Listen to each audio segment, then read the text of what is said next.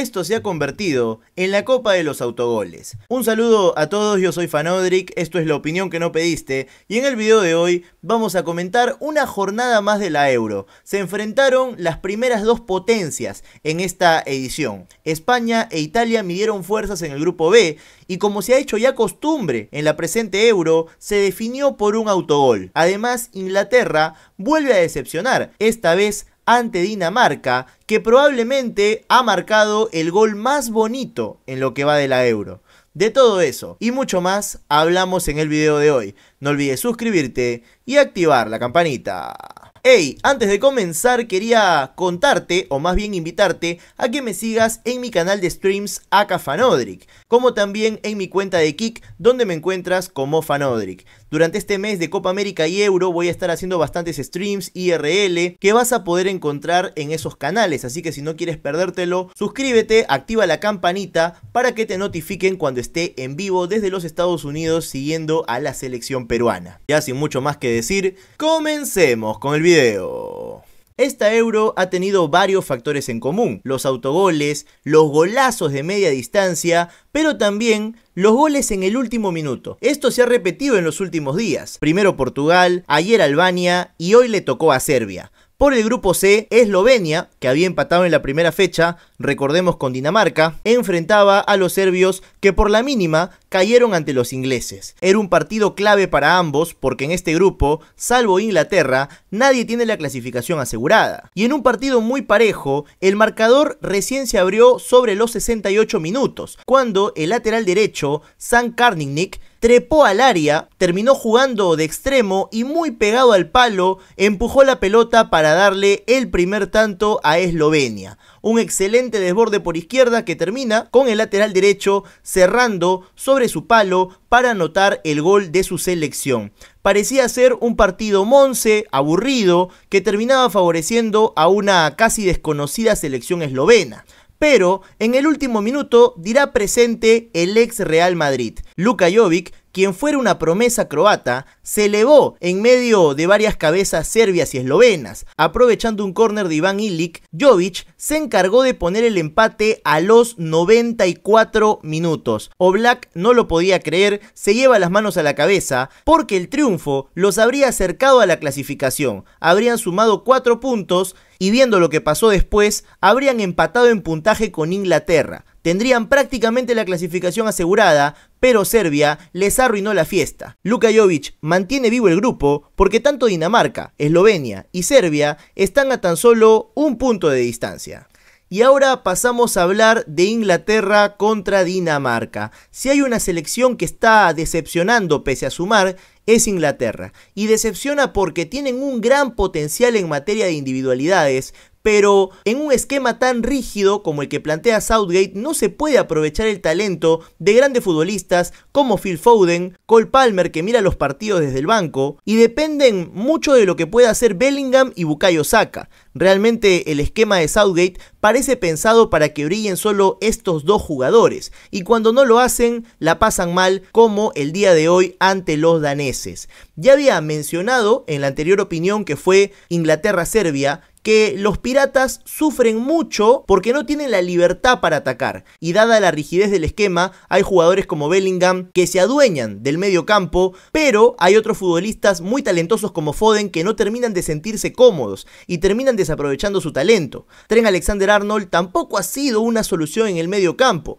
contrario a ser un volante creativo y con buen pie, termina viéndose torpe y diría que el puesto le está quedando un poco grande. Declan Rice, a quien vemos siempre en gran nivel con el Arsenal, no termina de adaptarse a lo que esta Inglaterra necesita. Incluso Gareth Southgate ha llegado a declarar que no tienen un suplente idóneo para Calvin Phillips, un jugador que era suplente del suplente en el Manchester City. Realmente no aprovecha los recursos que tiene y pese a todo ello, empezaron ganando el partido. Más que por virtud de Inglaterra fue de mérito de Dinamarca que juega con una 3-5-2, donde Eriksen se ubica de media punta y hay dos delanteros que ya conocemos, Hojlund y Wind.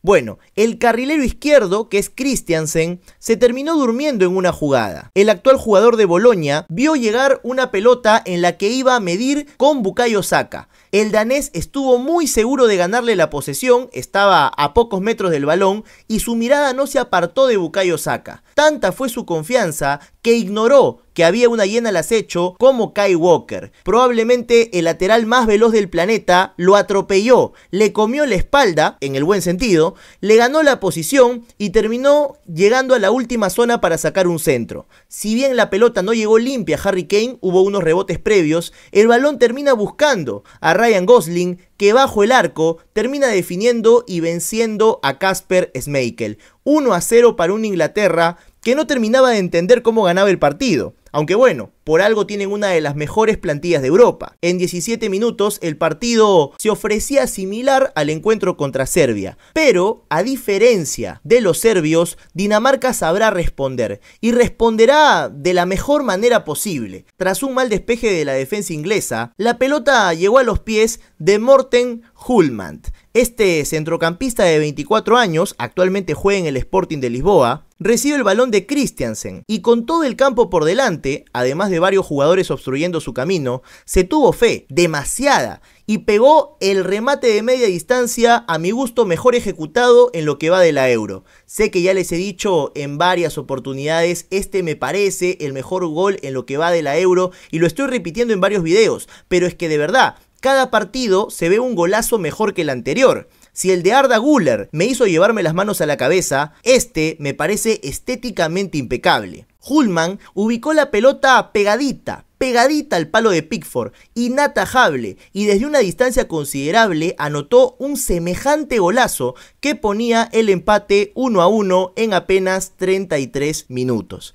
Lo que vendría en la segunda parte sería una repetición de lo que ya habíamos visto en los primeros 45, con un Inglaterra que tiene variedad de nombres y sin embargo no lo sabe aprovechar. Entró Conor Gallagher, entró Bowen, entró Watkins, y Everechi S. Ninguno fue solución para el equipo inglés que se va a quedar con el empate. Un empate que le sirve para pasar a la siguiente ronda, es cierto, pero que no termina de convencer a nadie. Mientras equipos como España o Alemania muestran un fútbol muy propositivo y con un juego muy marcado, en el caso de Inglaterra parece que suman por la fortaleza de sus nombres y pese a la debilidad de su técnico. ¿Cómo es posible que teniendo probablemente el segundo o mejor plantel de la Euro, declare que no tienen un reemplazo natural para Calvin Phillips, un futbolista de segunda división en Inglaterra y que cuando dio el gran salto al City no pudo ser titular. Tiene realmente a los mejores jugadores del mundo y no lo sabe aprovechar, al menos por ahora. Y otro detalle que me llamó muchísimo la atención es que parece no confiar en Cole Palmer. La estrella del Chelsea marcó más de 20 goles y dio más de 10 asistencias la pasada temporada,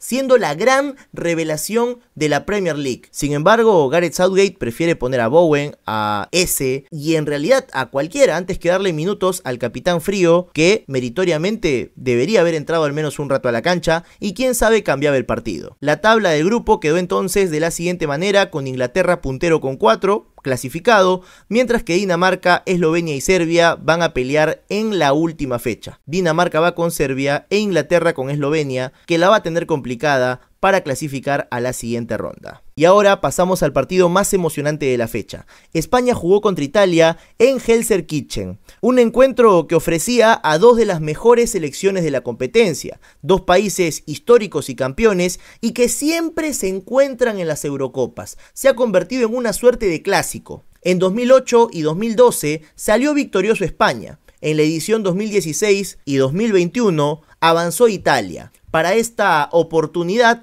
se ven las caras en fase de grupos y ahí España fue claro dominador del partido. El resultado dice apenas 1 a 0, pero en el juego los españoles fueron mucho más que Italia. El equipo de Luciano Spalletti apenas si pudo rematar una vez al arco de Unai Simón. Y si bien ambos equipos tienen un juego de posesión muy marcado, el de España bastante conocido, y en el caso de Italia también se sabe que es un equipo que gusta de tener la posesión de la pelota y una propuesta muy ofensiva, es lo que ya conocemos de Spalletti y mencioné en el primer encuentro contra Albania. Pero entonces, ¿cómo se realiza un partido entre dos países que tienen estilos muy similares? Aquí lo que va a prevalecer es quién maneja mejor el estilo de juego, la posesión y sobre todo la presión para poder quitarle el balón al rival. Y en esto último, España fue muy superior. Desde el momento en que atacaba, como también cuando recuperaba, posicionaron mejor a sus jugadores. Por ejemplo, cuando Italia debía defender una salida de España, se podía ver siempre una superioridad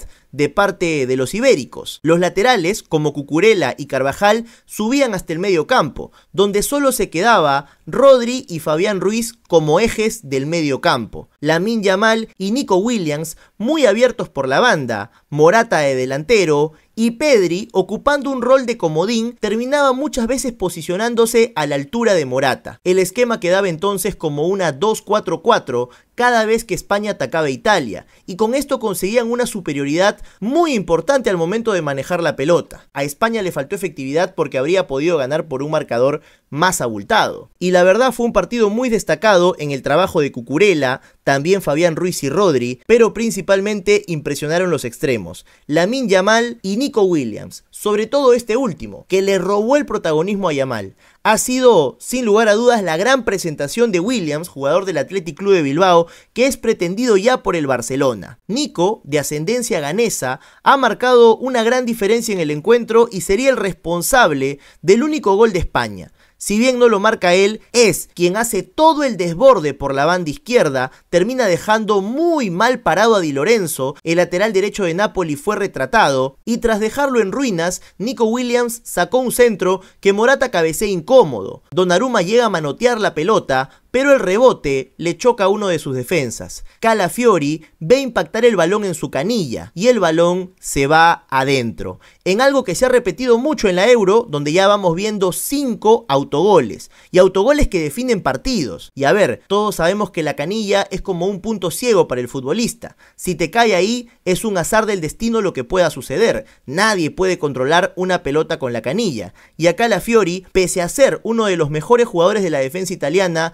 le tocó quedar como el villano de la película porque desafortunadamente el balón le impactó a él. De todas formas el resultado podría sugerir que Donnarumma tuvo un flojo rendimiento dado que no llega a atrapar el cabezazo de Morata y del rebote llega el gol. Y esto sería erróneo ya que Donnarumma jugó un gran partido, salvó varias ocasiones claras de gol, incluso manos a mano. Me animaría a decir que con esta presentación España se consolida como la segunda selección que mejor fútbol ha mostrado, solo por detrás de Alemania pero con la virtud de que han derrotado a un rival en nombre superior a los que ha enfrentado Alemania. Este apunte también lo mencioné en su debut contra Croacia. Para mí la diferencia de esta selección española con la que vimos en los últimos dos mundiales, que tenía el toquecito innecesario, ese pase para el costado inútil y un juego que nunca progresaba hacia adelante, la diferencia que encuentro con esta selección española es que tienen a dos extremos muy picantes, dos extremos con la habilidad de abrir la cancha como son Lamin Yamal y también Nico Williams. Esta sería la principal diferencia y lo que podría hacer España llegar muy lejos en la Euro. Y bueno, eso ha sido todo por el video de hoy. Muchas gracias por haberme acompañado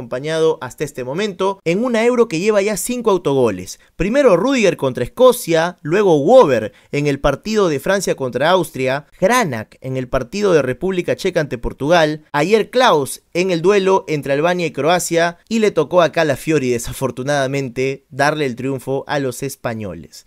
Ya sin mucho más que decir, me voy despidiendo. Te invito a que te suscribas, actives la campanita para no perderte ningún video. Ahora también empieza la Copa América. Y ya sin mucho más que decir, conmigo será hasta un próximo video.